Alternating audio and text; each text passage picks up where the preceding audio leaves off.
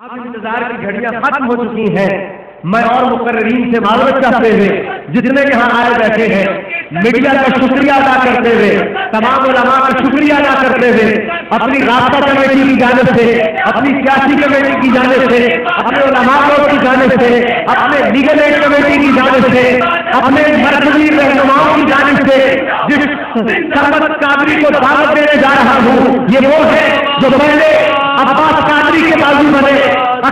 कादरी के बाजू बने और इस काम को ऐसे आगे लेके बढ़े कि अलहमदुल्ला आज इस काम को सात चाँद लग चुके हैं। ये काम कल भी जारी था, ये काम आज भी जारी है, ये काम